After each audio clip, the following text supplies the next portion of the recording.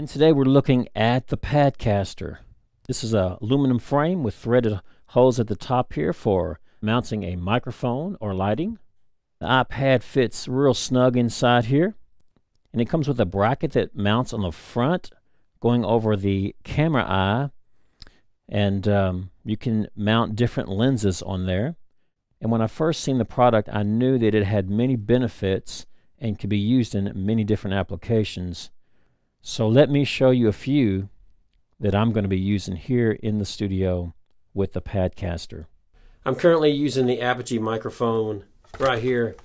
Microphone and preamp all in one. Sounds great. Great for recording vocals and acoustic guitar.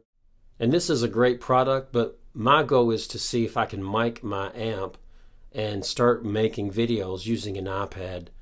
So we're going to look at a product made by Focusrite, and it's specifically designed for the iPad. And uh, let's take a listen to that product right now. And now we've got the Focusrite preamp. This is the iTrack Solo hooked up to an SM58, just testing it out. It sounds really, really good. And let's take and mic up the guitar amp now.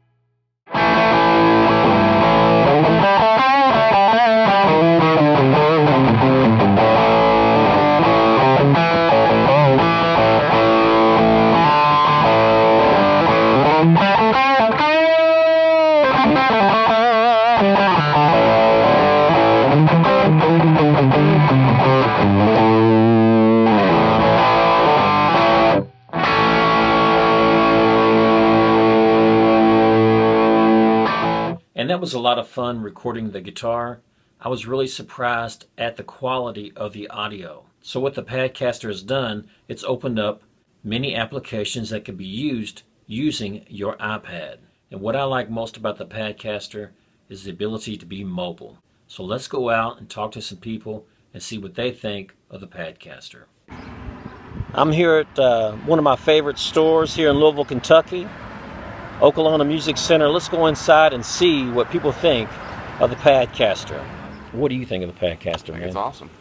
It's pretty remarkable. It's brilliant. It it is. Whoever come up with the Ingenious. ideas is, is a genius. Yes, a very smart guy. Yeah. All right, so what do you think of the Padcaster? I like it. It's cool. I really like the Padcaster. I think it's pretty awesome too.